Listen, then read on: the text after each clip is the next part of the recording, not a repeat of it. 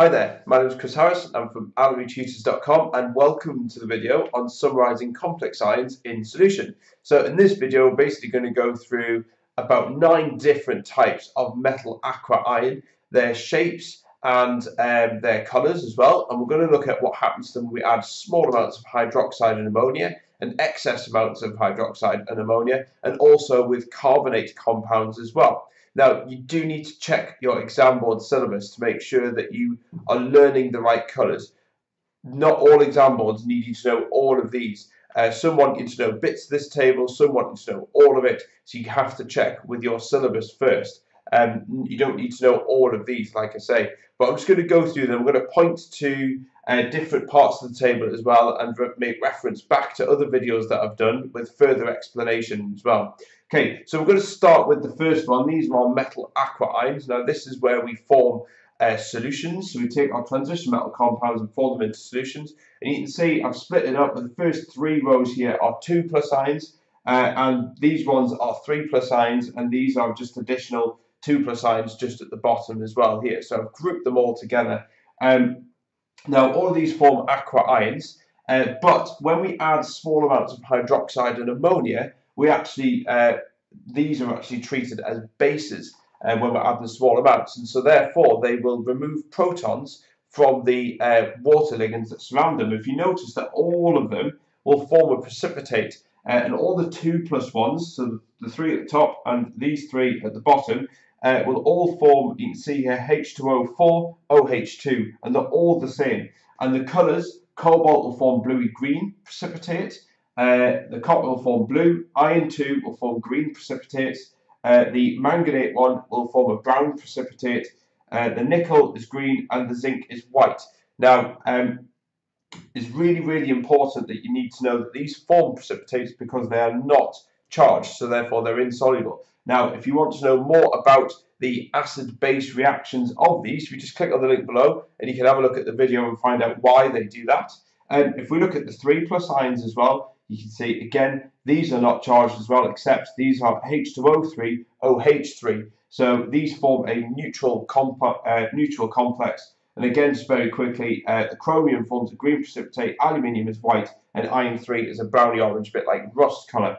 Now it's important to know if you look at these two, which is zinc and aluminium, these both are not transition metals, so therefore they don't form coloured compounds, and that's where they form white precipitates. As with their solutions as well, they're colourless, so they don't have any colour to them. Again, if you don't know why that is the case, you don't understand why some of these are coloured, I have done a video looking into coloured compounds, so we just click on the link below and you can have a look at the why these ones are coloured as well. Okay, so if we just go further on onto the excess hydroxide, and when we add excess, what we're doing is we have uh, ligand substitution. Uh, now, with some of the, a lot of the complexes, there is no further change. Um, so, for example, the cobalt, the copper, and the iron 2, all the 2 plus ions, they have uh, no change there for them three. Um, the chromium 3 plus does, it forms a green precipitate here, but then when we add excess, it redissolves the precipitate and it goes back into a solution again because we've reformed a charged complex. It's the same with the aluminium as well, except the aluminium doesn't go all the way. We have a partial substitution there. Uh, with the uh, iron 3 and the manganese and the nickel, it's the same as uh, with small amounts, there's no further change there. And then with the zinc one, again, just like the aluminium, it only does a partial substitution and we only have H2O2. But again, a colourless solution is formed because it's dissolved. If we come on to the excess ammonia, uh, excess ammonia um, again will act um, as ligand substitution when you add excess. Um, so for the cobalt, it forms a yellow solution with a hexaammine complex here. Um, the copper one is one of the funny ones where it doesn't substitute fully. We get partial substitution. That's really important to know. Um, and this forms a dark blue solution, again, because it's charged. Uh, there's no change with the iron 2, it's just the same as what it was here. Um, with the chromium 3 plus, it forms a purple solution. We get complete substitution here. It's the same for your aluminium, it's the same for iron 3, and it's the same for manganese 2 as well. Uh, so there's no change there. With the nickel one, again, we get full substitution, NiNH36, 2 plus, you form blue solution. And um, with this one, uh, with the zinc, again, we get partial substitution, a bit like with the copper one as well. Now, if you're not sure um, why uh, these form or why these behave as uh, in excess, you want to know more about the reactions, just click on the link below and you can have a look at that video there, as well as uh, why this, about the shape of this one in particular, about the copper one, because it's got a funny distorted octahedral shape. Okay, and just looking at the last one, this is reactions with carbonates.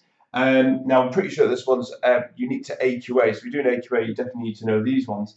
Uh, but cobalt ones, again, we form, if you look on here for the two plus ions here, you notice for the two pluses, these form um, simple carbonate compounds. You can see there's complete ligand substitution here. All the waters have been kicked off and we formed uh, bog standard metal carbonates. Uh, these are quite um, weak acids, so therefore we get um, a full ligand substitution with the carbonate. With your 3 plus ions, which are these three here, um, you see actually the reactions are slightly different when we add a carbonate to them, and that's because the carbonate acts as a um, acts as a base, and these 3 plus ions are stronger acids, so therefore you get um, the insoluble chromium hydroxide compounds. It's also important, uh, sorry, the insoluble uh, metal hydroxide compounds. It's also important to know that actually with these products here, you also get carbon dioxide gas being given off.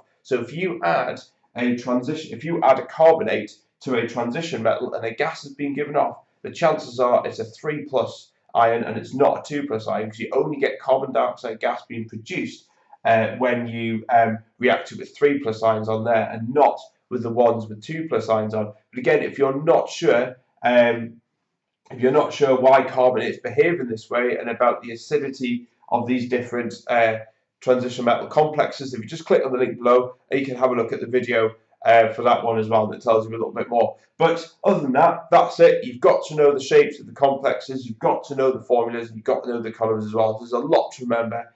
You know, take your time with it. It won't come straight away in one day. But that's it. Hope that helps. Bye.